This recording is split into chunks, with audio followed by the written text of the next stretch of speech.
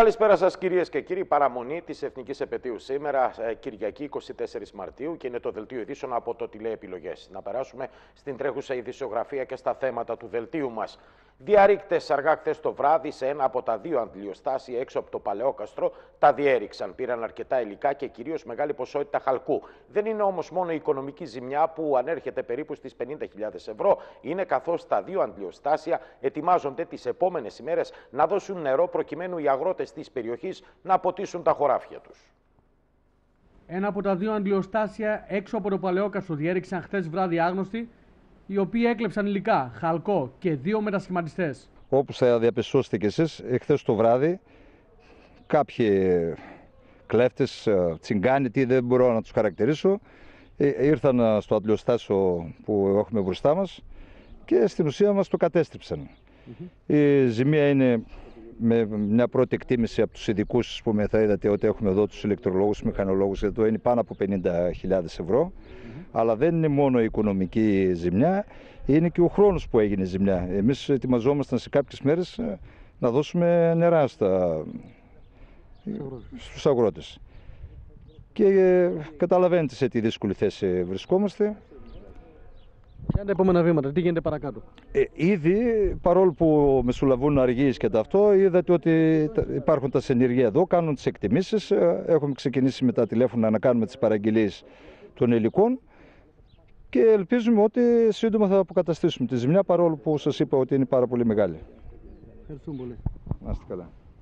Συναγερμός υπήρχε καθώς και σύστημα καμερών κλειστού κυκλώματος, τα οποία δυστυχώς δεν λειτουργήσαν λόγω βλάβης στο δίκτυο ρεύματος του αντλιοστασίου. Υπάρχει και συναγερμός, υπάρχουν και κάμερες online, αλλά λόγω ε, μιας βλάβης που είχαμε από τη ΔΕΗ, είχαμε διακοπή ρεύματος στο αντλιοστάσιο, δεν λειτουργούσαν αυτά. Γι' αυτό βρήκαν και αυτή η ευκαιρία, είδαν ότι δεν έχει ρεύμα και μας κάνανε αυτή τη ζημιά. Υπάρχει περίπτωση να κόψαν οι ίδιοι το ρεύμα ώστε να μπορέσουν να μπουν. Όχι, όχι, όχι. Είναι από βλάβη. Από βλάβη δεν είχε ρεύμα. Αλλιώς, άμα είχε ρεύμα, θα λειτουργούσαν και οι κάμερες και ο συναγερμός. Συνεργείο ηλεκτρολόγων και τεχνικών καθώς και η διοίκηση του ΤΟΕΒ βρέθηκε άμεσα στο σημείο σήμερα το πρωί, ώστε να κάνει εκτίμηση της ζημίας, η οποία όπως φαίνεται είναι αρκετά μεγάλη και αγγίζει τα 50.000 ευρώ. Η κλοπή αυτή γίνεται σε μια κρίσιμη στιγμή για τους αγρότες, καθώς είναι η εποχή που χρειάζονται το νερό περισσότερο από κάθε τι. Παρ' όλα αυτά δεν υπάρχει λόγος ανησυχίας, σύμφωνα με τον ηλεκτρολόγο του ΤΟΕΒ. Και να σας άρει όσον αφορά τη ζημιά που έγινε εδώ απόψε. Για πόσο μεγάλη ζημιά μιλάμε; Ε, γύρω στα 50 χιλιάρικα. Η οποία ξέρουμε πότε θα καλυφθεί και πώς; Ε, θα κοιτάξει αυτό το διοικητικό συμβούλιο. Έχουμε διοικητικό συμβούλιο, αυτοί παίρνουν αποφάσεις. Αλλά θα γίνει το όσο το δυνατόν πιο σύντομα. Δηλαδή για πόσο άμεσα μιλάμε; Αν πούμε, η απόφαση βγει την Τρίτη, για πόσο άμεσα μιλάμε η αποκατάσταση; Σε 4-5 μέρες να πρέπει οι αγρότες να αγχώνονται μια που πλησιάζει και. Ακόμα δεν ξεκινήσαμε, αλλά θα ξεκινήσουμε. Τώρα, αρχές Απριλίου, πρέπει να, να δουλέψει το αντιλιοστάσιο. Πιστεύετε πως δεν θα υπάρξει μεγάλο πρόβλημα; Όχι, όχι. Θα, θα αποκατασταθεί έγκαιρα. Δυστυχώς πρόκειται για μια σπήρα πανελλαδικά που κλέβει μεγάλες ποσότητες χαλκού και μετασχηματιστές. Το θέμα είναι πώς θα ποτίσουν οι αγρότες τώρα στην περιοχή τις επόμενες ημέρες, όπως είδαμε στο ρεπορτάζ. Πάμε σε ένα άλλο θέμα τώρα, κυρίες και κύριοι, που αφορά χιλιάδες νέους συνταξιούχους, κυρίως όσοι συνταξιοδοτήθηκαν μετά τις 13 Μαου του 2016. Πρόκειται λοιπόν να πάρουν αναδρομικά μέχρι και 110 ευρώ, είτε είναι με διαδοχική είτε είναι με παράλληλη ασφάλιση. Δρομικά 110 ευρώ το μήνα θα δοθούν σε νέους συνταξιούχους για να πάρουν σύνταξη με μικρότερο όριο ηλικίας επιλέγοντας όσο χρόνο χρειάζονται από τη διαδοχική ή την παράλληλη ασφάλιση. Για να προσαυξήσουν τη σύνταξη με το χρόνο της διαδοχικής ή της παράλληλης ασφάλισης που δεν θα τους χρησιμεύσει για το όριο ηλικίας. Ο συνδυασμός των δύο επιλογών οδηγεί de facto σε αύξηση συντάξεων που φτάνει κατά μέσο όρο στα 110 ευρώ το μήνα. Αυτή τη μεταβολή θα την έχουν όσοι αποχώρησαν από 13 Μαΐου του 2016 και μετά έχοντας διαδοχικό ή και παράλληλο χρόνο ασφάλισης. Ο ΕΦΚΑ θα εκδώσει νέα εφαρμοστική εγκύκλιο και σε αυτήν θα ξεκαθαρίζεται αν ο επανυπολογισμό συντάξεων με διαδοχική και παράλληλη ασφάλιση θα γίνει οίκοθεν, δηλαδή από τις υπηρεσίες του ΕΦΚΑ ή κατόπιν αιτήσεων των συνταξιούχων που αποχώρησαν μετά τις 13 Μαΐου του 2016. Από το νέο καθεστώς τη διαδοχικής και παράλληλης ασφάλισης μένουν εκτός μέχρι πάντα νεωτέρας οδηγίας οι παλαιοί συνταξιούχοι. Στην εγκύκλιο Πετρόπουλους δεν γίνεται καμία αναφορά σε παλιές πριν από τις 13 Μαΐου του 2016 εκδοθεί σε συντάξεις, ενώ στην οδηγία του ΕΦΚΑ αναφέρεται ότι οι αλλαγές της εγκυκλίου θα ισχύσουν αναδρομικά από 13 Μαΐου και μετά. Γενναιότητα ψυχής τώρα έδειξε μια οικογένεια μετά και από τον άδικο χαμό ενός συντοπίτη μας ηλικίας 50 χρόνων, μετά από εγκεφαλικό επεισόδιο, καθώς στήθηκε μια αερογέφυρα ζωής όπου δορίστηκαν τα όργανα του σε νοσοκομεία της Θεσσαλονίκης αλλά και της Γερμανίας. Αερογέφυρα ζωής στήθηκε από τις αίρε προς τη Θεσσαλονίκη και τη Γερμανία συνάνθρωποι μας θα μπορέσουν και πάλι να χαμογελάσουν χάρη στη δωρεά οργάνων. Η οικογένεια ενός 50χρονου που νοσηλεύονταν κλινικά νεκρός μετά από εγκεφαλική αιμορραγία στο νοσοκομείο Σερών ήταν αυτή που πήρε τη γενναία απόφαση να δωρήσει τα όργανά του. Το μεγαλύτερο και σπουδαιότερο δώρο που μπορεί να κάνει ο άνθρωπος στο συνάνθρωπό του. Σύμφωνα με τον διοικητή του νοσοκομείου Σερών Αερογέφυρα Ζωής, στήθηκε από Σέρε σε τρία νοσοκομεία, Αχέπα και Ιπποκράτιο της Θεσσαλονίκης, και στο νοσοκομείο Έσεν στη Γερμανία για να μεταφερθούν τα όργανα του 50χρονου. Τα νεφρά και οι κερατοειδείς μεταφέρθηκαν στα νοσοκομεία της Θεσσαλονίκης και ήδη από χθες αργά το βράδυ έδωσαν δώρο ζωής σε τρεις συνανθρώπους μας, ενώ οι πνεύμονες μεταφέρθηκαν πρωινές ώρες στη Γερμανία όπου αυτή την ώρα βρίσκεται σε εξέλιξη ανάλογο χειρουργείο. Η επιχείρηση ολοκληρώθηκε νωρίς το πρωί με τη διοίκηση και τους εργαζόμενους του νοσοκομείου να είναι συγκινημένοι μπροστά στη μεγάλη πράξη προσφοράς. Ο κύριος Ματάκος επεσήμανε στο επιλογές ότι η ιδέα της δωρεάς οργάνων και των ιστών αποτελεί την ύψιστη μορφή εθελοντικής προσφοράς και αλτρουισμού καθώς και τη βασική προϋπόθεση για την πραγματοποίηση του ιατρικού θαύματος της μεταμόσχευσης και ευχήθηκε το παράδειγμα της προσφοράς της οικογένειας αυτής να το ακολουθήσουν και άλλοι, αφού δυστυχώς η Ελλάδα σήμερα είναι σταθερά στις τελευταίες θέσεις της Ευρωπαϊκής Ένωσης στη δωρεά οργάνων. Παράδειγμα προς μίμηση λοιπόν ε, αυτή ε, η αερογέφυρα που στήθηκε για τέσσερις συνανθρώπους μας με ε, δωρεάν οργάνων μετά και από τον χαμό όπως είπαμε του συντοπίτη μας του 50χρονου. Πάμε τώρα εμείς στον διοικητή του νοσοκομείου των Σερών, είναι στην τηλεφωνική γραμμή ο κύριος Αθανάσιος Ματάκος. Κύριε Διοικητά μας ακούτε, καλησπέρα σας. Ναι, σας ακούω, καλησπέρα κύριε Παράδειγμα προς μίμηση βέβαια και όλη αυτή η ενέργεια της οικογένειας προκειμένου να δοθούν αυτά τα όργανα σε τέσσερις συνανθρώπους. Ε, από πλευράς του νοσοκομείου όλη η διαδικασία πώς ήταν κύριε μου. Ε, ε, ήταν καλή γιατί το κέντρο μεταμοσχεύσεων του Ιπποκρατείου, στο οποίο υπαγόμαστε, έχει εμπειρία σε αυτά και μόλις τον είχαμε πληροφορήσει ότι υπάρχει εγκεφαλικό θάνατο και ο συγκεκριμένος άνθρωπος είναι και δωρητής, είχε κάρτα δωρητή οργάνων και ιστών. Ε, δρομολογήθηκε ακριβώς αυτή η διαδικασία. Ε, αυτό που ήταν ε, να πάρουν, ανάλογα με το ποιος το χρειαζόταν και πώς μπορούσε αυτό να γίνει, παραδείγματος χάρη για τους πνεύμονες, έχουν έρθει, είχαν έρθει από Γερμανία. Από Γερμανία έρθουν εκεί. Ναι, ήρθαν από το ΕΣΕΝ, από το νοσοκομείο του ΕΣΕΝ της Γερμανίας. ε, για τους νεφρούς υπάρχει το κέντρο του, του Ιπποκρατείου, το οποίο έχει εμπειρία. Μάλιστα, ένας χειρουργός ήταν σε εμάς τον πρώτο καιρό, πριν φύγει εκεί πέρα και η διαδικασία τέλειωσε τις πρώτες πρωινές ώρες. Οι πληροφορίες ε, που έχω, δεν ναι. ξέρω αυτό αν θα το έχετε υπόψη σας, είναι ότι τα, οι δύο νεφροί ήδη έχουν μεταμοσχευτεί με επιτυχία. Στη σε δύο νέους, νέους ανθρώπους, γύρω στα 50, ένας στο Ιπποκράτιο Θεσσαλονίκης και ένας στο Λαϊκό Αθηνών μεταμόσχευση για τους νεφρούς λέτε γιατί είναι και μεγάλη ακριβώς. λίστα των νεφροπαθών που αναμένουν. Έχετε ναι, ακριβώς, Οπότε ακριβώς. έγιναν οι δύο μεταμοσχεύσεις στους νεφρούς. Ήδη εκεί. έχουν γίνει δύο με επιτυχία και εντάξει με τον αμφιβληστροειδή δεν είναι τόσο το θέμα και δεν έχουμε ακόμα καμία ανταπόκριση από τη Γερμανία, μάλλον θα έχουμε την τρίτη.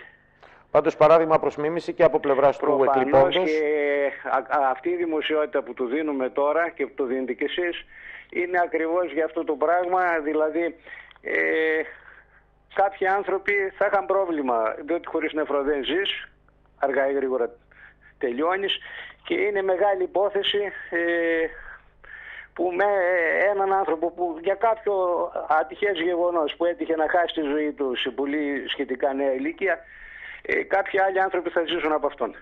Έτσι ακριβώς και είναι παράδειγμα προς όλους μας για να το εμφυσίσουμε αυτό σε όλους μας, προκειμένου να είμαστε δωρητές οργάνων, μπορούμε να σώσουμε κάποιες άλλες ζωές.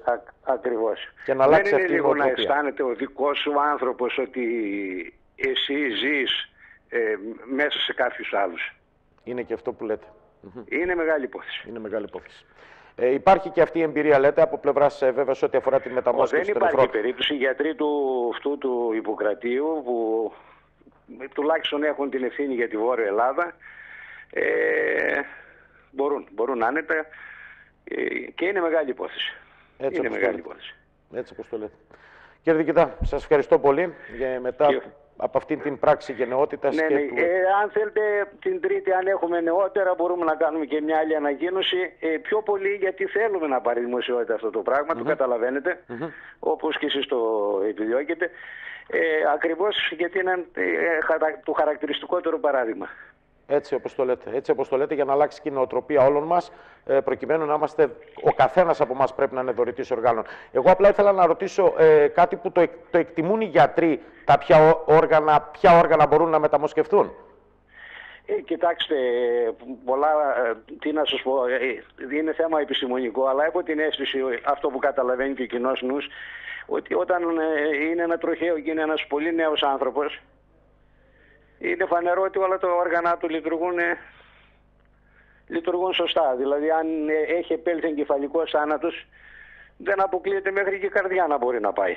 Αρκεί να βρεθεί η κατάλληλη, να μπορεί να βρε- η κατάλληλη υποστήριξη διαδικασία κλπ. Τι, να- τι να σας πω. Ε, Είναι και θέμα δηλαδή αν μπορέσει να διατηρηθεί το συγκεκριμένο όργανο. Η επιλογή γίνεται ναι, καθαρά ναι, κάτω δεν από θέλω να πω επιστημονικούς τώρα σε όρου. λεπτομέρειες γιατί είναι θέματα τα οποία δεν τα ξέρω, δεν τα Μάλιστα. ξέρω με την έννοια ότι είναι επιστημονικά.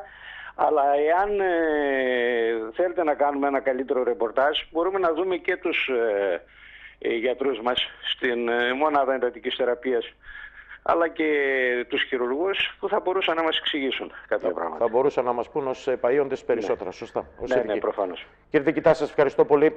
Καλό σας Και βράδυ. εγώ, και εγώ ευχαριστώ. Καλό βράδυ. Γεια σας. Γεια. Αυτά από τον κύριο Ματάκο, το διοικητή του νοσοκομείου, παράδειγμα προς μίμηση στο να είμαστε δωρητές οργάνων. Και να αλλάξουμε θέμα εμείς τώρα και να πάμε σε μια υπουργική απόφαση του αρμόδιου Υπουργού Αγροτικής Ανάπτυξης, του κυρίου Αραχοβίτη, που θα λύσει τα χέρια, να το πούμε έτσι απλά, σε πάρα πολλούς κτηνοτρόφους, οι οποίοι θα μπορούν να αποζημιώνονται για λόγους ανωτέρας βίας, δηλαδή όταν χάνουν το ζωικό κεφάλαιο, είτε από κάποια νόσο ή από φυσικές καταστροφές. Υπεγράφει από την Υπουργό Αγροτικής Ανάπτυξης και Τροφίμων Σταύρο Αραχοβίτη η υπουργική απόφαση όσον αφορά τις προποθέσει και τις διαδικασίες αναγνώρισης των γεγονότων ανωτέρας βίας και εξαιρετικής περίστασης και των φυσικών περιστατικών σε βοηδή και σε εγωπρόβατα.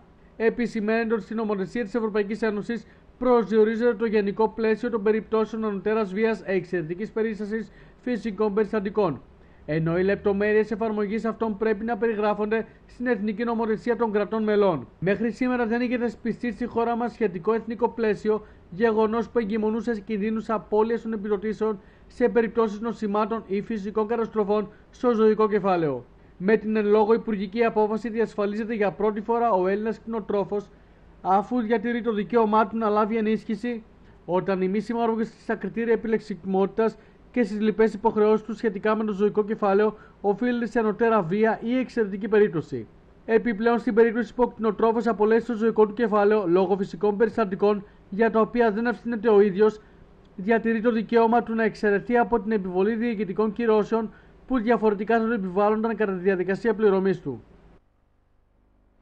Ο αναπληρωτής Υπουργός Περιβάλλοντος, τώρα ο κ. Φάμελος, επισκέφθηκε χθες τον υδροβιότοπο της λίμνης Κερκίνης. Κατά τη διάρκεια της επίσκεψής του, απελευθερώθηκαν πουλιά στο φυσικό τους περιβάλλον, ενώ ο ίδιος μίλησε για τη βιωσιμότητά του φορέα διαχείρισης, καθώς η κυβέρνηση, όπως είπε ο κ. Φάμελος, θα στηρίξει τη λειτουργία του. Συνάντηση με τους εργαζόμενους του Φορέα Διαχείρισης Εθνικού Πάρκου Λίμνης Κερκίνης είχε ο αναπληρωτής Υπουργός Περιβάλλοντος και Ενέργειας Σοκράτης Φάμελος σήμερα το απόγευμα. Ο κύριος Φάμελος βρέθηκε στην Κερκίνη με αφορμή την απελευθέρωση απειλούμενων ειδών πουλιών και την επανένταξή τους στο φυσικό περιβάλλον και συγκεκριμένα απελευθερώθηκαν τρεις αργυροπελεκάνοι, δύο ροδοπελεκάνοι και μία χίνα. Ο κύριος Φάμελος, μιλώντας στους αιρέους δημοσιογράφους, υπενθύμησε πως το 2015 ο προγραμματισμός ήταν να κλείσουν οι φορείς προστασίας του περιβάλλοντος και πρόσθεσε πως σήμερα έχει δημιουργηθεί ένα περιβάλλον προστασίας της εργασίας για τους εργαζόμενους που ήταν κυριολεκτικά στον αέρα. Σύμφωνα με τον κύριο Φάμελο, η πλειοψηφία των φορέων εντάχθηκε σε προγράμματα της Ευρωπαϊκής Ένωσης, ενώ έχουν ενταχθεί στον κρατικό προϋπολογισμό τα λειτουργικά τους έξοδα, καθώς οι εργαζόμενοι καλύπτονται από το Πράσινο Ταμείο. Ο αναπληρωτής Υπουργός Περιβάλλοντος ανακοίνωσε πως την επόμενη εβδομάδα στη Βουλή θα υπάρξει και νομοθετική πρωτοβουλία για το καθεστώς εργασίας για να μπει το θέμα σε πλήρη κανονικότητα. Σήμερα βρισκόμαστε στην πάρα πολύ ευχάριστη θέση να απελευθερώσουμε εδώ στο φυσικό οικοσύστημα, στο Εθνικό Πάρκο της Λίμνη Κερκίνη, τρεις αργυροπελεκάνου, δύο ρόδοπελεκάνου και μία Κίνα και πιστεύουμε ότι έτσι δείχνουν ξανά τον δρόμο το πώς τα μεγάλα περιβαλλοντικά προβλήματα, τα προβλήματα των ζώων μπορούν να βρουν μια διορπή η οποία αντιστοιχεί και αν θέλετε στην Ευρωπαϊκή Νομοθεσία αλλά και σε αυτό που η Ελλάδα μας έχει πρότυπο. Την ποιότητα του περιβάλλοντος και την ταυτότητα του περιβάλλοντος. Βέβαια, εμείς έχουμε τη χαρά να είμαστε σήμερα εδώ μαζί με τον φορέα ε, της προστατευόμενης περιοχής, μιας και έχουμε, αν θέλετε, ολοκληρώσει αυτή την περίοδο πολλές πρωτοβουλίες όσον αφορά τα ζητήματα των προστατευόμενων περιοχών. Έχει ολοκληρωθεί ένα σύγχρονο εθνικό πλαίσιο με 36 φορές προστατευόμενων περιοχών σε όλη την Ελλάδα. Έχει δημιουργηθεί ένα περιβάλλον προστασίας της εργασίας για τους εργαζόμενους που είναι κυριολεκτικά στον αέρα. Πρέπει να σας θυμίσω ότι δυστυχώ το 2015 ο προγραμματισμός ήταν να κλείσουν οι φορέ προστασία περιβάλλοντος και οι εργαζόμενοι ήταν κυριολεκτικά επί προνόμου. Τώρα έχουμε μπορέσει και έχουμε εντάξει τη πλειοψηφία των φορέων σε προγράμματα της Ευρωπαϊκής Ένωσης. Έχουν ενταχθεί στο κρατικό προπολογισμό τα λειτουργικά τους έξοδα. Οι εργαζόμενοι καλύπτουν το πράσινο ταμείο και την επόμενη εβδομάδα στη Βουλή θα υπάρξει μια νομοθετική πρωτοβουλία και για το καθεστώς εργασίας και το οργανόγραμμα των φορέων αυτών, έτσι ώστε να βγούμε σε μια πλήρη κανονικότητα. Νομίζω ότι οι παρεμβάσεις στο θέμα του φυσικού περιβάλλοντος έχουν δύο μεγάλες αν θέλετε, αφετηρίες. Η μία είναι τα θέματα των προστατευόμενων ειδών. Σήμερα είδαμε τρία είδη, τα οποία είναι σε καταλόγου προστασίας, να επιστρέφουν στο οικοσύστημα και ταυτόχρονα να ικανοποιούν τις υποχρεώσεις της χώρας μας απέναντι σε αυτούς τους καταλόγους και αυτή τη διεθνή νομοθεσία. Ταυτόχρονα όμως οι φορείς των προστατευόμενων περιοχών για μας είναι αναπτυξιακά εργαλεία. Παράλληλα με τους κανόνες προστασίας, δημιουργούν και το περιβάλλον έτσι ώστε να υπάρχει θετική ανάπτυξη και όχι μόνο ενδιαφέρον των πολιτών που είδαμε σήμερα ήταν πάρα πολύ μεγάλο για το ζήτημα της απελευθέρωσης των ε, τριών αυτών, των έξι αυτών κοινών, αλλά ταυτόχρονα να υπάρχει δυνατότητα προσέλκυση νέων δραστηριοτήτων συμβατών με το προστατευόμενο και τα προστατευόμενα. Αυτό νομίζω ότι είναι το σύνθημα, ότι μπορούμε να τα καταφέρουμε. Να πάμε τώρα σε μια σημαντική ημερίδα που διοργάνωσε το Εμποροβιομηχανικό Επιμελητήριο των Σερών σε συνεργασία με το Σωματείο Φοροτεχνικών. Η ημερίδα αυτή αφορούσε προκειμένου να διαφωτιστεί η κοινή γνώμη για τις 120 δόσεις και δύο επιχειρηματίες για τις ασφαλιστικές εισφορές προς τον ενιαίο φορέα κοινωνικής ασφάλισης αλλά και για τα κόκκινα δάνεια. Το Επιμελητήριο Σερών σε συνεργασία με την Ένωση Φοροτεχνικών Ελευθέρων Επαγγελματιών Νομού Σερών διοργάνωσε ενημερωτική ημερίδα με θέμα 120 δόσεις προς ζωή και εύκα, κόκκινα δάνεια, εξοδικαστικός μηχανισμός ρύθμισης χρεών επιχειρήσεων ελευθέρων επαγγελματιών και αγροτών. Το Μεριτήριο Σελεών, σε συνεργασία με, το, με την Ένωση Φοροτεχνικών ε, του Νομού Σερών, διοργανώνει μια μερίδα για τις 120 ε, δόσεις, οι οποίες ε, πιστεύουμε ότι αφορά πάρα πολλούς επιχειρηματίες στην πόλη μας, όπως και σε όλη την Ελλάδα. Και θα θέλαμε να ευχαριστήσουμε τον κεντρικό μιλητή ε, της ε, ημερίδας αυτή, τον κεντρικό γραμματεία ιδιωτικού χρέους, τον Φώτη Κομμούση.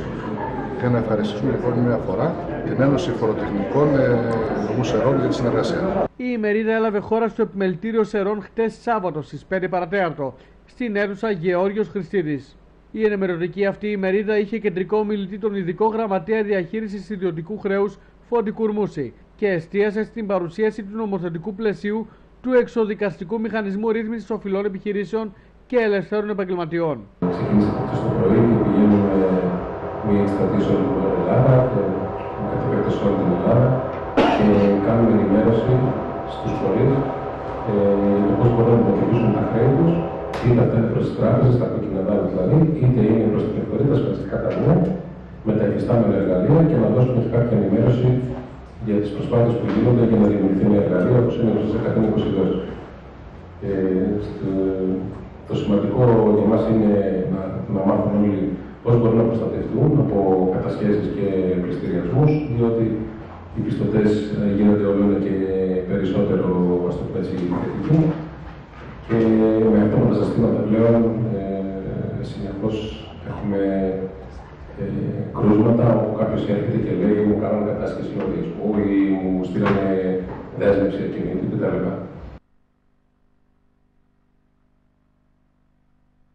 Σούπερ Μάρκετ Κάντζας. Εδώ οι προσφορές δεν σταματούν ποτέ.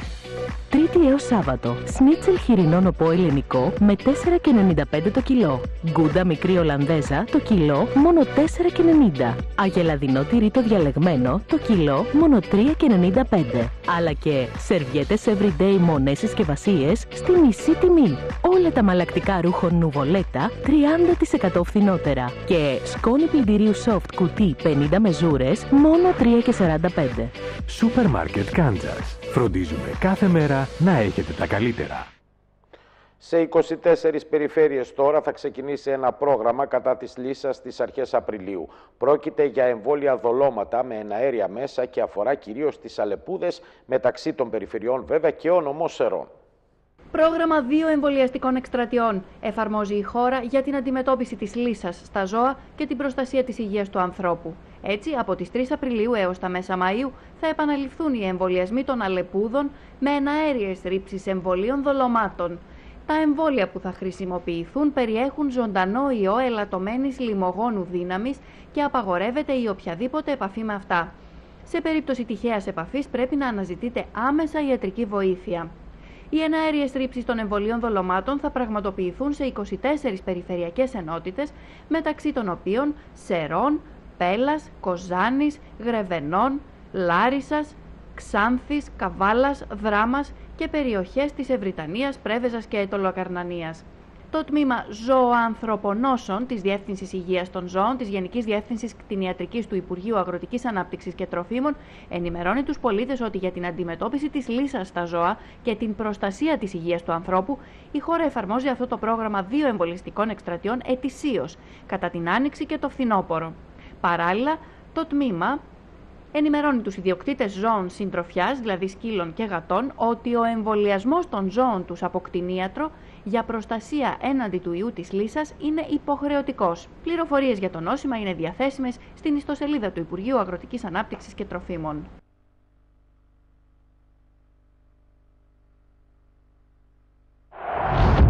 Τι μας κάνει να ξεχωρίζουμε ότι είμαστε γεννημένοι για τα μεγάλα παιχνίδια.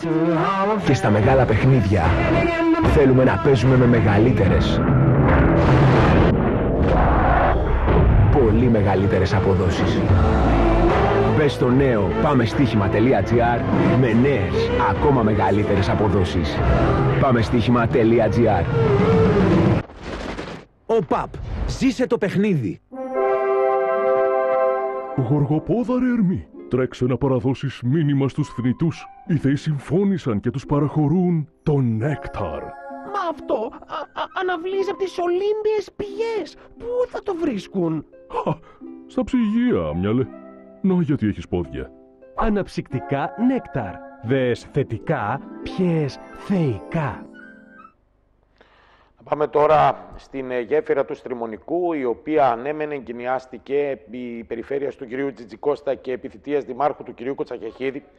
Αλλά χθες όμως ε, είχαμε την, ε, τα ονομαστήρια της γέφυρας του Στριμονικού, η οποία πλέον θα ονομάζεται γέφυρα του Αγίου Αντωνίου. Αυτό έγινε μετά και από επιθυμία του Μητροπολίτης Σερών και Νιγρίτης του κυρίου Θεολόγου.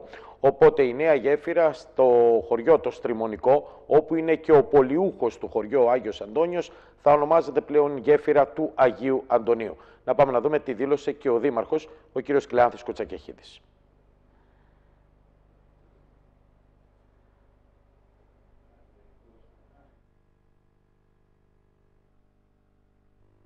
Κατόπιν προτάσεως και επιθυμίας του Σεβασμιωτάτου Μητροπολίτου Σαρών και Νιγρίτης κυρίου κυρίου Θεολόγου, ονοματοδοσία έλαβε χώρα σήμερα το πρωί στη γέφυρα του Στριμονικού. Η γέφυρα πλέον ονομάζεται Γέφυρα Αγίου Αντωνίου, το όνομα δηλαδή του πολιούχου του χωριού, κατόπιν απόβαση του τοπικού και του Δημοτικού Συμβουλίου. Αυτό έγινε μετά από πρόταση και επιθυμία του Σεβασμιωτάτου Μητροπολίτου μας, του Δεσπότη, κυρίου κυρίου Θεολόγου, την ημέρα των εγγενείων. Ε, ζήτησε λοιπόν ε, και εξέφρασε την επιθυμία να ε, ονομαστεί η γέφυρα αυτή γέφυρα Αγίου Αντωνίου, του πολιούχου δηλαδή, του χωριού μας εδώ, του Στριμονικού. Ε, με χαρά ανταποκριθήκαμε από την πρώτη στιγμή και αφού πήραμε αποφάσεις τοπικού και δημοτικού συμβουλίου, σήμερα, ημέρα Σάββατο, βόλεψε, να το πω έτσι, επιτρέψτε μου για τη φράση, το πρόγραμμα και του Σεβασμιωτάτου και το δικό μας και ονομάσαμε τη γέφυρα αυτή ως γέφυρα Αγίου Αντωνίου η οποία θα μείνει για πάρα πολλά χρόνια, ίσως ε, και αιώνες με αυτό το όνομα. Επειδή λοιπόν ε, πρέπει να συμπορεύονται εκκλησία και κοινωνία και τοπική αυτοδιοίκηση κατ' επέκταση, επειδή τα μεγάλα έργα πρέπει να έχουν και την ευλογία του Θεού και της Εκκλησίας και επειδή εν αρχή είναι ο Λόγος του Θεού, αποδεχθήκαμε με χαρά αυτή την ε, επιθυμία και πρόταση του Σεβασμιωτάτου και την υλοποιήσαμε σήμερα. Καθότι υπήρχε χρηματοδότηση από την πρώτη στιγμή για την κατασκευή της γέφυρας, λόγω των συνεχόμενων αλλαγών στις κυβερνήσεις, η γέφυρα καθυστέρησε αρκετά. Ο Γολγοθάς για τους πολίτες ήταν μεγάλος. Όμως, αν και με καθυστέρηση, η γέφυρα πλέον είναι έτοιμη και οι κάτοικοι δεν ταλαιπωρούνται. Ε, η χρηματοδότηση υπήρχε από την πρώτη στιγμή από το Ταμείο Εθνικής Οδοποιίας, από το ΤΕΟ ονομαζόμενο. Ξεκίνησε η πρώτη δημοπράτηση, σχεδόν ολοκληρώθηκε και είχαμε την κατάργηση του Ταμείου Εθνικής Οδοποιίας. Από εκεί στη συνέχεια υπήρχε ένας Γολγοθάς. Μια ταλαιπωρία πολύ μεγάλη. Πέντε ή έξι κυβερνήσεις άλλαξαν από την ημέρα που χρηματοδοτήθηκε και δημοπρατήθηκε το έργο. Αντιλαμβάνεστε λοιπόν την ταλαιπωρία των πολιτών κυρίως αλλά και ημών όλων που ασχολούμασταν ε, με τη διαδικασία αυτή. Ε, να πούμε τέλος καλό όλα καλά, η γέφυρα έγινε με καθυστέρηση, δεν το αρνηθήκαν ποτέ αυτό και σήμερα ο κόσμος απολαμβάνει ένα μεγάλο έργο υποδομής διπλής κατεύθυνσης. Αν θυμάστε η πρώτη γέφυρα η οποία ήταν παμπάλια ήταν ε, μιας κατεύθυνσης. Το απολαμβάνει το έργο και λέμε δώσαμε και το όνομα ε, σήμερα. Οπότε τέλος καλό όλα καλά, όλα πήγαν καλά τι να πω. Εν ώψη τώρα της ελληνογαλλικής φιλίας, τα παιδιά βρέθηκαν στη Δημόσια Κεντρική Βιβλιοθήκη όπου θαύμασαν τα έργα του Γάλλου ζωγράφου, του Βιτσέντ Ντεγκόκ αλλά και άλλων Γάλλων ζωγράφων για να γνωρίσουν την κουλτούρα της γαλλικής χώρας. Έτσι τα παιδιά στην Δημόσια Κεντρική Βιβλιοθήκη φτιάξαν τους δικούς τους πίνακες ζωγραφικής βάζοντας την παιδική τους φαντασία. Σύλλογο Ελληνογαλλικής Φιλίας και η Δημόσια Κεντρική Βιβλιοθήκη Σερών με αφορμή τη γιορτή της Γαλλοφωνίας, προσέγγισε τη ζωή και το έργο του γαλλόφωνου ζωγράφου Vincent Van Gogh, ο οποίος έζησε και αναπτύχθηκε καλλιτεχνικά στη Γαλλία. Από τις 11 το πρωί η βιβλιοθήκη γέμισε από μικρά παιδιά, τα οποία παρατήρησαν τους πίνακες του Vincent Van Gogh και αφού εμπνεύστηκαν, δημιούργησαν τους δικούς τους προσωπικούς πίνακες, πάντα μέσα από την παιδική τους φαντασία. Πώς λένε, κοιτάξτε πώ. Με λένε Στέλλα και πηγαίνω ε, πέμπτη δημοτικού. Στέλλα, τι κάνατε εδώ σήμερα με τα άλλα παιδάκια; Ε, μάθαμε για διάφορους Γάλλους ζωγράφους και πιο πολύ για τον Van Gogh. Σου αρέσει η ζωγραφική του Van Gogh? Ε, ε, μ' αρέσει, αλλά πιο πολύ μ' αρέσουν τα γαλλικά και ήρθα επειδή μ' αρέσουν τα γαλλικά. Εσύ τι ζωγράφισες; Εγώ ζωγράφισα το δωμάτιό μου, όμως δεν μου βγήκε πολύ καλό και τώρα θα ζωγραφίσω μια γλάστρα. Παράλληλα με τη ζωγραφική, τα παιδιά είχαν την ευκαιρία να μοιηθούν στο βασικό λεξιλόγιο της τέχνης της ζωγραφικής, πάντα στα γαλλικά, με ψυχαγωγικό τρόπο και με την παρουσία ενός Γάλλου εμψυχωτή. Σήμερα συγκεντρωθήκαμε στη βιβλιοθήκη για να κάνουμε μία δράση με αφορμή τη γιορτή της Γαλλοφωνίας που είναι στις 20 Μαρτίου. Η δράση μας είχε για θέμα την ζωή του γαλλόφωνου ζωγράφου Βισέντ Van Gogh. Τα παιδιά είδαν πίνακες ζωγραφικής, έμαθαν για το έργο του Van Gogh και σχεδίασαν δικούς τους πίνακες σαν τον Van Gogh. Και θα σας παρουσιάσω και το συνεργάτη μου, το Jordi Forger. Alors, Jordi, Voilà, je suis euh, de Praxis, je suis volontaire, je suis français et euh, je viens en aide aujourd'hui pour, euh, pour cette journée, euh, pour la journée internationale de la francophonie. Je viens donner mon aide à l'association de la francophonie euh, euh, à Cérès et euh, voilà, j'apporte mon aide. Ε, ονομάζεται Jordi Forger, έρχεται από τη Γαλλία με το πρόγραμμα Πράξης. Ήρθε σήμερα να μας βοηθήσει με την παρουσία του εθελοντικά.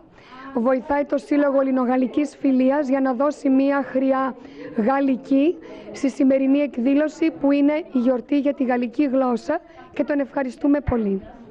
Merci Jordi. Merci. Θα μας πεις κάτι στα γαλλικά. Ε, Δώσε μία ευχή στον κόσμο που σε βλέπει αυτή τη στιγμή. Στα γαλλικά. Και θα πεις καλό Σαββατοκύριακο. ε, Bon weekend.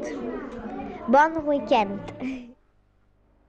Η οργανωμένη φιλαθλητόρα του Πανσεραϊκού, το κλαμπ Τσεκεβάρα, με πανό που έχουν αναρτήσει στο δημοτικό γήπεδο Σερών, ζητούν από τη Δημοτική Αρχή αλλά και από τους υποψηφίους ό,τι αφορά την τοπική αυτοδιοίκηση ένα προπονητικό βοηθητικό κέντρο 52 στρεμάτων στην περιοχή της Ομόνιας για τον ε, Πανσεραϊκό, προκειμένου η ομάδα των Σερών να μην έχει πρόβλημα το που θα προπονηθεί ένα σκηνικό που το βλέπουμε κάθε χρόνο.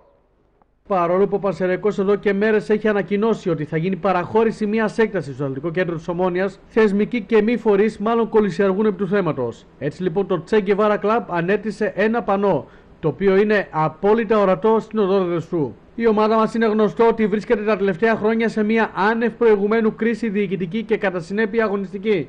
Δεν θα γινόταν φυσικά διαφορετικά σε ένα πρωτάθλημα πλήρως εμπορευματοποιημένο. Οι Τσέγκεβάρα είχαν αναρτήσει το ίδιο πανό και στον αγώνα με την Ορφαία Ξάνθης όπου ο Πανσεραϊκός κέρδισε με 1-0, στέλνοντας έτσι το δικό τους μήνυμα. Το πανό είναι αρκετά μεγάλο και σε περίοπτη θέση, έτσι ώστε όποιος ανεβαίνει την οδόρα Ρεστού να το βλέπει με μεγάλη ευκολία. Τώρα πια ένα κλικ η απόσταση από τη ΔΕΙΑ. Τώρα, 24 ώρες το 24ωρο. Μπορείτε να κάνετε όλες τις συναλλαγές σας με την ΔΕΙΑ μέσα από τον υπολογιστή σας ή το κινητό σας τηλέφωνο.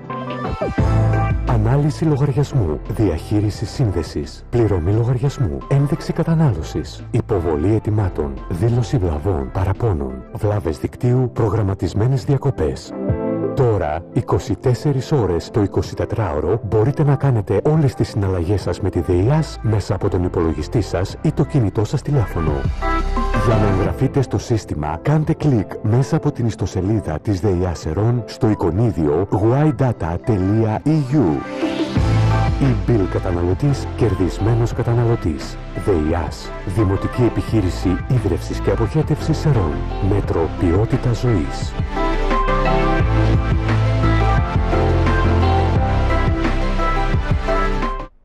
Λοιπόν, θα πάμε τώρα στον ε, πρόεδρο από το κλαμπ Τσεκεβάρα. Αυτό που βλέπαμε με πανό που οι φίλαθλοι του Πανσεραϊκού ζητούν να δεσμευτούν σε ό,τι αφορά υποψήφοι και για την αυτοδιοίκηση αλλά και η Δημοτική Αρχή για παραχώρηση γηπέδους στον Πανσεραϊκό στο 52 στρεμάτων, προκειμένου ο Πανσεραϊκός να μην έχει πρόβλημα το που θα προπονηθεί. Είναι ο κύριος Γιάννης Καδί στη τηλεφωνική γραμμή. Πάμε να το καλωσορίσουμε, αλλά να μας μεταφέρει και αγωνιστικά το κλίμα, καθώς ε, αγωνιζόταν ο Πανσεραϊκός για το πρωτάθλημα της Τρίτης Εθνικής στο κόσμο στην Κομωτινή. Κύριε Καδί, μας ακούτε, καλησπέρα σας. Καλησπέρα. Να ξεκινήσουμε λίγο από το αποτέλεσμα για τον Πασαραϊκό μας. Ε, το αποτέλεσμα είναι νομίζω γνωστό. 4-2 κράτησε η ομάδα. Εντάξει, μπορεί να μην υπάρχουν στόχοι πλέον για το πρωτάθλημα. Εν πάση περιπτώσει, χρησιμοποιήσει και μερικούς παίκτες καινούριους και το θετικό το αποτέλεσμα. Αν και δεν ήταν τόσο καλή εμφάνιση. Ένα θετικό αποτέλεσμα και η ομάδα η αντίπαλη αδύναμη ήταν. 2-4 δηλαδή το αποτέλεσμα. Έτσι. Ναι, ναι, ναι. Ναι. Ε, από εκεί και πέρα είναι καλό όμως γιατί αναπτερώνει φαντάζομαι και το ηθικό της ομάδας γενικότερα, αλλά και υπάρχει και ομοιογένεια στο σύνολο. Δεν ξέρω πώς το βλέπετε εσείς με την εμπειρία. Ακριβώς, ακριβώς. Ακριβώς. Αυτό είναι πάρα πολύ καλό. Να πάμε στο άλλο θέμα τώρα. Έχετε αναρτήσει ένα πανό στο δημοτικό γήπεδο που ζητούτε, ζητάτε ε, προπονητικό κέντρο για το Πανσεραϊκό. Το πρόβλημα βέβαια το έχει η ομάδα κάθε χρόνο, διότι μετακομίζει συνέχεια και δεν υπάρχει βοηθητικό γήπεδο. Ε, τι ακριβώς ζητάτε, κύριε Καδί, εσείς και πού πρέπει να δεσμευτούν ε, οι, όλοι όσοι σχετίζονται με την αυτοδιοίκηση από αυτό. Κύριε Μπούμπα, το αυτονόητο. Η πρώτη ομάδα του νομού, ο Πανσεραϊκός, εντάξει και όλοι ξέρουμε τι σημαίνει Πανσεραϊκός για την πόλη, για τον νομό, έτσι σε μια περίοδο που το ποδόσφαιρο πλέον έχει μία από τις λίγα, από τα λίγα σημεία μαζικής έκφρασης του κόσμου.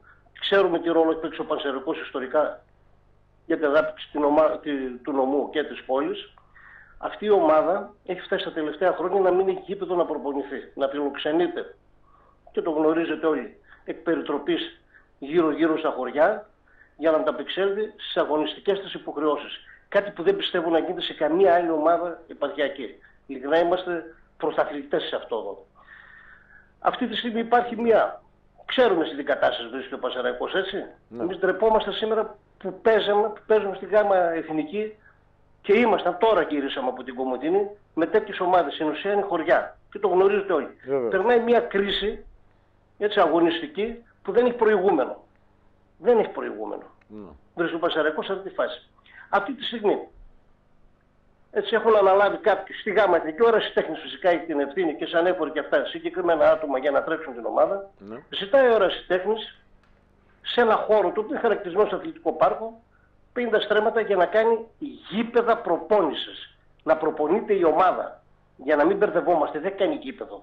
Γιατί μερικές φορές ακόμα δεν έχει συνειδητοποιήσει ο κόσμος, γιατί έβλεπα συνέντευξη πρώην Δημάρχου, στα μέσα της συνέντευξης αντιλήφθηκε ότι δεν μιλάμε για γήπεδα προπόνησης, για γήπεδο, για γήπεδο Πασαρακού, αλλά, Αλλά για γήπεδο προπόνησης, κέντρο. για προπονητικό ναι, κέντρο. ειλικρινά, ναι, που- Ναι. Για γήπεδο προπόνησης όπως δικαιούται κάθε ομάδα τοπική να έχει. Και δεν έχει ο Πασαρακός γήπεδο προπόνησης.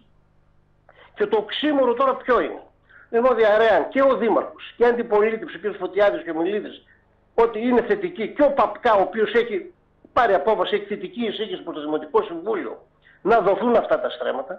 Δεν υπάρχει τίποτα επίσημο, δεν έχει τοποθετηθεί παρόλο τις διαρροές από την πλευρά του Δημάρχου, του κ. Φωτιάδη και της αντιπολίτευσης Μίζωνος και Ελλάσσονος, βλέπουμε να υπάρχουν φωνές οι οποίες αντιτίθενται σε αυτό.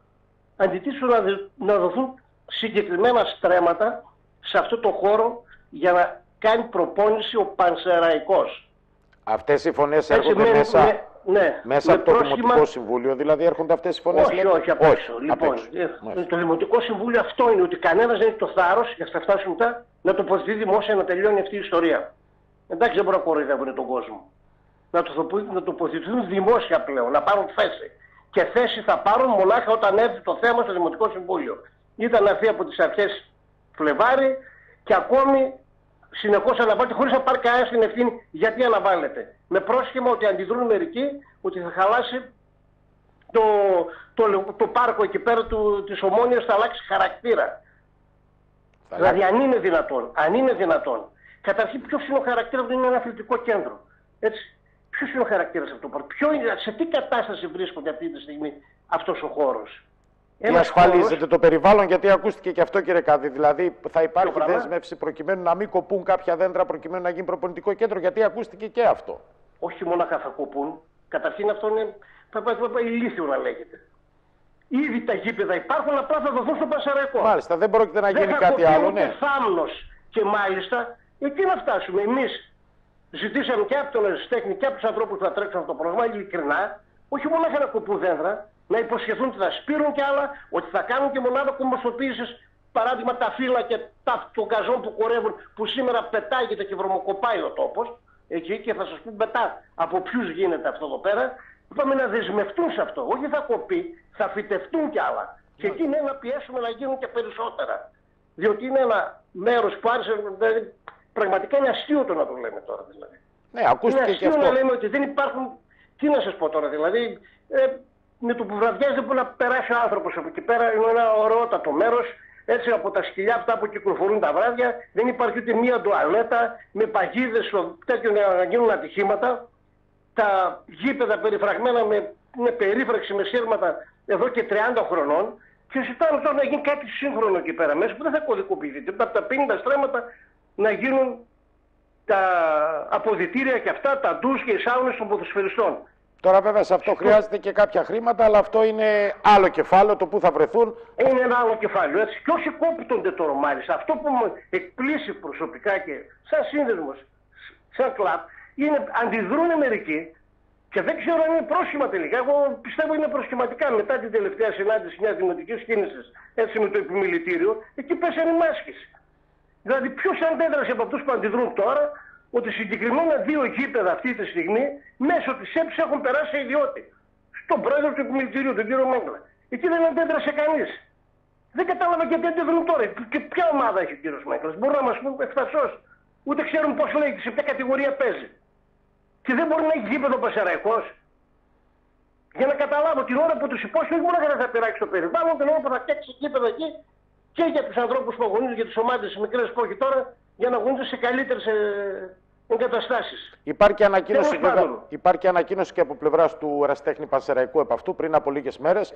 Όπως Λοιπόν, ε, να είναι ξεκάθαρο κύριε Μπούμπα, Να δεν είναι- υπάρχει αυτό. Το ζήτημα είναι ευθύνη πλέον και δεν θα, πραγματικά δεν θα ανεχτούμε άλλη κορυφή. Είναι θέμα στο θέμα του Δημάρχου και της αντιπολίτευσης. Να αρθεί το θέμα στο Δημοτικό Συμβούλιο τώρα, χθες. Να τελειώνει αυτή η ιστορία. Και ας ψηφίσει ο καθένας ό,τι θέλει. Να πάρουν επιτέλους Ο καθένας το, το, το, το, το αρμόζει να, το- να, ξε- να, να, να πέσουν οι μάσεις, να δούμε τι γίνεται. Μάλιστα, λέτε ξεκάθαρα ξε- πράγματα. ξεκάθαρα Για ποιο πράγματα. λόγο είναι υπεύθυνος αυτή τη στιγμή ο Δήμος και η αντιπολίτευση, όλοι δεν φτάνει να διαρρέουν μέσω συμβούλων και αυτά ότι είναι υπέρ του να δοθούν και να μην τολμούν να το φέρουν στο Δημοτικό Συμβούλιο. Για ποιο λόγο κολλησιεργούν. Όλες αυτές οι θεωρίες περί του δύο μήνες πριν τις εκλογές και να τα αναλάβει η καινούργια Δημοτική Αρχή είναι τουλάχιστον αστεία. Μια Δημοτική Αρχή εκλέγεται για να δουλεύει μέχρι την τελευταία μέρα της ύπαρξής της, ειδικά για τέτοια θέματα.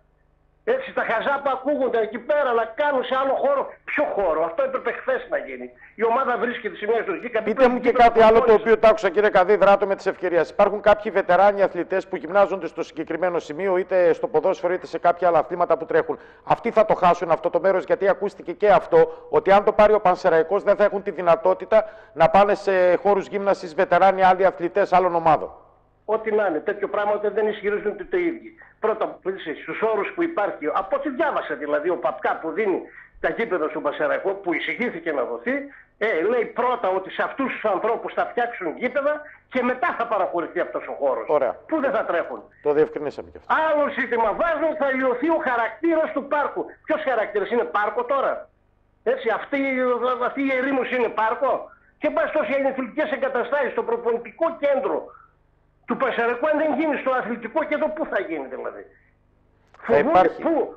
Τα δίνουν σε ιδιώτε και δεν μιλάνε, όπω σα είπα, τα γήπεδα το- το- μέσω τη ΕΠ ο Δήμο, που δεν ξέρω αν είναι νο- νόμιμα, νομότυπα, τίποτα να πάρει θέση ο Δήμο, να πει πώ γήπεδα τα οποία τα έδωσε στον ΕΠΣ βρίσκονται αυτή τη στιγμή στην ΕΠΣ, βρίσκονται αυτή τη στιγμή οι- οι- οι ιδιώτη, να, να μιλήσουν ξεκάθαρα. Γιατί αν δεν θέλουν να υπάρχει ιδιώτη εκεί πέρα, θα πρέπει να φύγουν και αυτοί από εκεί πέρα μέσα. Κύριε Καδί, Είναι θα- ξεκάθαρο. Είστε ξεκάθαρος κι εσείς. Λέτε να έρθει το θέμα στο Δημοτικό Συμβούλιο, όπου εκεί ξεκάθαρα να τοποθετηθούν άπαντες και συμπολίτευση και αντιπολίτευση. Να έρθει και να μιλήσουν τώρα, πρέπει να μιλήσουν ο κύριο Δήμαρχο για ποιο λόγο αναβάλλεται εδώ και δύο-τρεις φορές και δεν έχει το Δημοτικό Συμβούλιο. Μάλιστα. Και η ευθύνη δεν είναι μονάχα του Δημού, είναι όλων στο Δημοτικό Συμβούλιο. Τη Ελλάσσονα και τη Μίζωνα Αντιπολίτευση με επιχειρήματα να κάνουμε διάλογο, να δούμε ποιος ποιος ενδιαφέρεται για το περιβάλλον εκεί και ποιοι όχι. Και επειδή υπάρχουν εχμές για φράσεις χουλικάνων και αυτά και δεν ξέρω εγώ τι, και δεν- ένα πράγμα θα τους πούμε. Είμαστε ενεργοί πολίτες, παύλα φύλαθλοι. Δεν είμαστε ούγκανα. Σε μερικούς που αφήνουν εχμές και, χρησιμο- και δεν θέλουν να χρησιμοποιούν υποτίθεται ποδοσφαιρικούς όρους. Είμαστε ενεργοί πολίτες και πονάμε αυτό το χώρο εκεί στο πάρκο της Ομόνιας πολύ περισσότερο από το καθέναν. Και πολύ περισσότερο απευθύνουμε σε παρατάξεις που βγήκαν ενάντια σε αυτό το έργο, το να δοθούν δηλαδή αυτά τα γήπεδα, για να μην περιέχουν, αν κάποτε βγει ο Πασαρικός στην Άλφα εκεί σε ιδιώτη, ποιοι τα λένε; Αυτοί που δεν μιλήσαν όταν ιδιωτικοποιήθηκαν τα τρένα στην Ελλάδα, δεν ιδιωτικοποίησαν, δεν μιλήσαν κατά ποιαν ασπιρίνη σε μέγεθος τακτοδοχείου όταν δοθήκαν τα αεροδρόμια. Όλα. Έτσι, στους Γερμανούς δεν, μιληθήκαν, δεν μιλήσανε τίποτα κάναν το χαζό όταν η Βόρεια Χαλκιδική παραδόθηκε να πούμε με τους εξορίκους τους Καναδούς και τους ενδιαφέρει τώρα και τους έπιασε ο πόνος. Μην. Ένα στρέμμα οικοδοποιη- κάνει.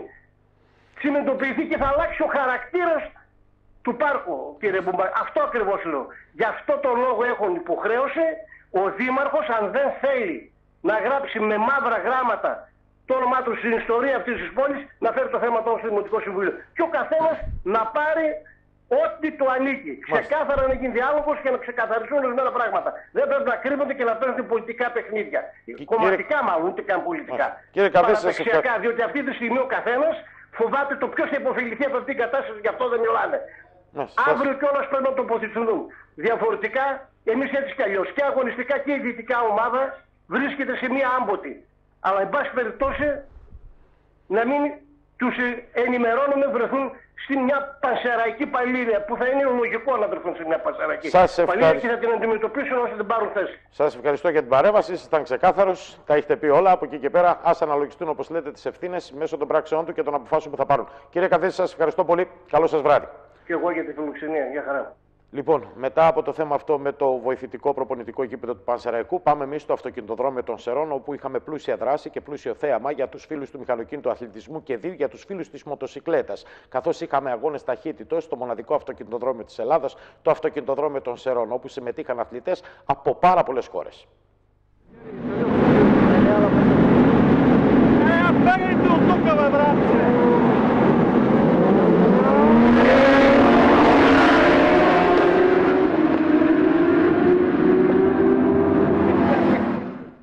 Η καρδιά του μοτοσυκλετισμού χτύπησε για άλλη μία φορά στις αίρες. Πάνω από 100 αθλητές από Βουλγαρία, Ρουμανία, Σερβία, Τουρκία, Ισραήλ και βεβαίως Ελλάδα συμμετείχαν στο πρωτάθλημα ταχύτητας μοτοσυκλέτας που διοργάνωσε η Βαλκανική Μοτοσυκλετιστική Ένωση στο αυτοκινητοδρόμιο.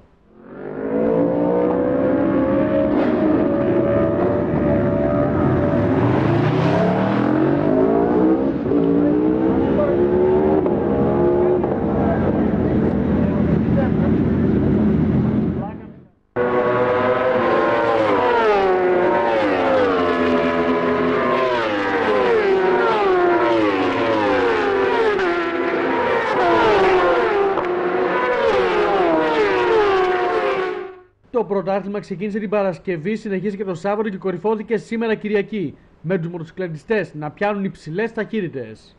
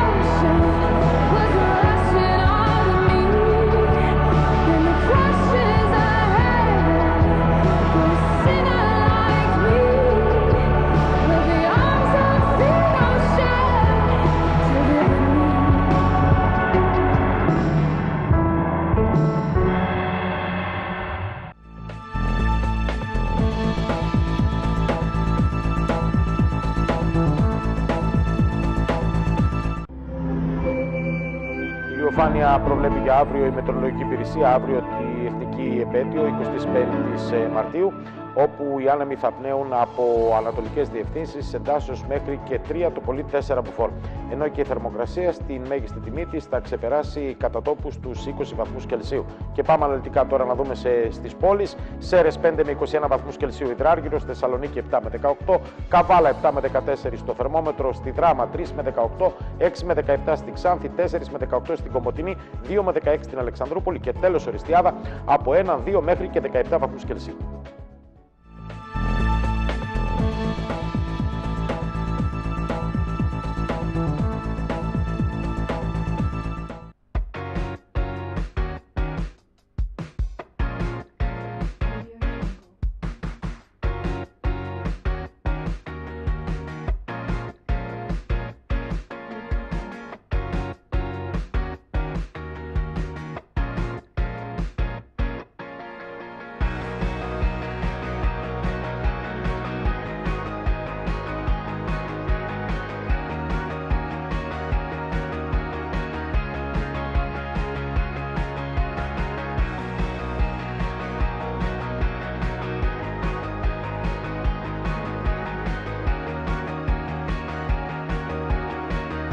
Ζωή σας σε πρώτο πλάνο. Πλάνο στούντιο. Εθνικής Αντίστασης 13. Κυρίες και κύριοι, έτσι κατέγραψε την ειδησιογραφία της ημέρας ο φακός του τηλεεπιλογές. Σε αυτό το σημείο ολοκληρώθηκε το δελτίο ειδήσεων. Ευχαριστούμε όλους όσους μας παρακολουθήσατε, προκειμένου να ενημερωθείτε μέσα από το τηλεεπιλογές. Σας ευχόμαστε να έχετε ένα ξεκούραστο βράδυ, καλή εβδομάδα και εν ώψη εθνικής επαιτίου. Χρόνια πολλά σε όλους. Καλή σας νύχτα.